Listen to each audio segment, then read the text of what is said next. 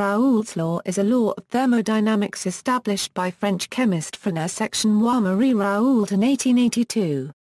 It states that the partial vapor pressure of each component of an ideal mixture of liquids is equal to the vapor pressure of the pure component multiplied by its mole fraction in the mixture. Mathematically, Raoult's law for a single component in an ideal solution is stated as, where is the partial vapor pressure of the component in the gaseous mixture, is the vapor pressure of the pure component, and is the mole fraction of the component in the mixture.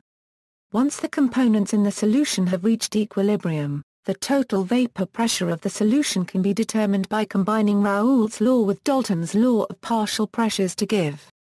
If a non-volatile solute is dissolved into a solvent to form an ideal solution, the vapor pressure of the final solution will be lower than that of a pure solvent. Principle Raoult's law is a phenomenological law that assumes ideal behavior based on the simple microscopic assumption that intermolecular forces between unlike molecules are equal to those between similar molecules, the conditions of an ideal solution. This is analogous to the ideal gas law, which is a limiting law valid when the interactive forces between molecules approach zero, for example as the concentration approaches zero. Raoult's law is instead valid if the physical properties of the components are identical. The more similar the components are, the more their behavior approaches that described by Raoult's law. For example, if the two components differ only in isotopic content, then Raoult's law is essentially exact. Comparing measured vapor pressures to predicted values from Raoult's law provides information about the true relative strength of intermolecular forces. If the vapor pressure is less than predicted, fewer molecules of each component than expected have left the solution in the presence of the other component, indicating that the forces between unlike molecules are stronger. The converse is true for positive deviations.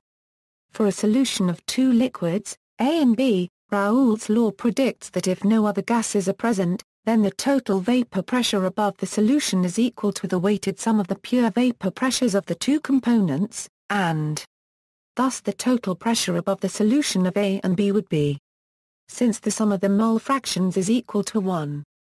This is a linear function of the mole fraction, as shown in the graph. Thermodynamic considerations Raoult's law was originally discovered as an idealized experimental law. Using Raoult's law as the definition of an ideal solution, it is possible to deduce that the chemical potential of each component of the liquid is given by where is the chemical potential of component I in the pure state? This equation for the chemical potential may then be used to derive other thermodynamic properties of an ideal solution. However, a more fundamental thermodynamic definition of an ideal solution is one in which the chemical potential of each component is given by the above formula. Assuming also that the vapor mixture acts as an ideal gas, it is then possible to rederive Raoult's law as follows. If the system is at equilibrium, then the chemical potential of the component I must be the same in the liquid solution and in the vapor above it. That is, assuming the liquid is an ideal solution, and using the formula for the chemical potential of a gas, gives where is the fugacity of the vapor of and indicates the reference state. The corresponding equation for pure in equilibrium with its vapor is where indicates the pure component. Subtracting the equations gives us which rearranges to. The fugacities can be replaced by simple pressures if the vapor of the solution behaves ideally that is which is Raoult's law equals ideal mixing equals an ideal solution would follow Raoult's law but ideal solutions do not exist. The fact that the vapor above the liquid is taken to be ideal is the least of our worries Interactions between gas molecules are typically quite small, especially if the vapor pressures are low. The interactions in a liquid however are very strong. For a solution to be ideal we must assume that it does not matter whether a molecule A has another A as neighbor or a B molecule. This is approximately true only if the two species are almost identical chemically. One can see that from considering the Gibbs free energy change of mixing. This is always negative, so mixing is spontaneous. However the expression is, apart from a factor a euro t, equal to the entropy of mixing. this leaves no room at all for an enthalpy effect and implies that must be equal to zero and this can only be true if the interactions U between the molecules are indifferent.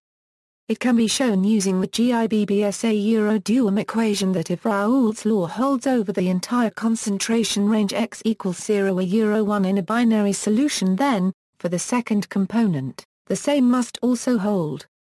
If deviations from the ideal are not too large, Raoult's law is still valid in a narrow concentration range when approaching x equals 1 for the majority phase. The solute also shows a linear limiting law, but with a different coefficient. This law is known as Henry's law. The presence of these limited linear regimes has been experimentally verified in a great number of cases. In a perfectly ideal system, where ideal liquid and ideal vapor are assumed, a very useful equation emerges if Raoult's law is combined with Dalton's law, where is the mole fraction of component in the solution and is its mole fraction in the gas phase. This equation showed that, for an ideal solution where each pure component has a different vapor pressure, the gas phase is enriched in the component with the higher pure vapor pressure and the solution is enriched in the component with the lower pure vapor pressure. This phenomenon is the basis for distillation. Equals non-ideal mixing equals, Raoult's law may be adapted to non-ideal solutions by incorporating two factors that account for the interactions between molecules of different substances. The first factor is a correction for gas non-ideality, or deviations from the ideal gas law. It is called the fugacity coefficient. The second, the activity coefficient, is a correction for interactions in the liquid phase between the different molecules. This modified or extended Raoult's law is then written. Real solutions, many pairs of liquids are present in which there is no uniformity of attractive forces, that is, the adhesive and cohesive forces of attraction are not uniform between the two liquids, so that they deviate from the Raoult's law applied only to ideal solutions. Equals negative deviation equals. If the vapor pressure of a mixture is lower than expected from Raoult's law, there is said to be a negative deviation. This is evidence that the adhesive forces between different components are stronger than the average cohesive forces between like components. In consequence each component is retained in the liquid phase by attractive forces that are stronger than in the pure liquid so that its partial vapor pressure is lower. For example, the system of chloroform and acetone has a negative deviation from Raoult's law, indicating an attractive interaction between the two components that has been described as a hydrogen bond. The system hydrochloric acid, water has a large enough negative deviation to form a minimum in the vapor pressure curve known as an azeotrope, corresponding to a mixture that evaporates without change of composition. Equals positive deviation equals, when the cohesive forces between like molecules are greater than the adhesive forces between dissimilar molecules, the dissimilarities of polarity leads both components to escape solution more easily. Therefore, the vapor pressure is greater than expected from the Raoult's law, showing positive deviation. If the deviation is large, then the vapor pressure curve shows a maximum at a particular composition and form a positive azeotrope. Some mixtures in which this happens are benzene and methanol, carbon disulfide and acetone, and chloroform and ethanol. Electrolyte solutions, the expression of the law for this case includes the Van 't Hoff factor. See also, atomic theory, azeotrope, Tumor model, Darwin quarterings rule, Henry's law, Car paragraph layer theory, solubility. References, Chapter 24, D. A. McQuarrie, J. D. Simon Physical Chemistry, A Molecular Approach. University Science Books. E. B. Smith Basic Chemical Thermodynamics. Clarendon Press. Oxford.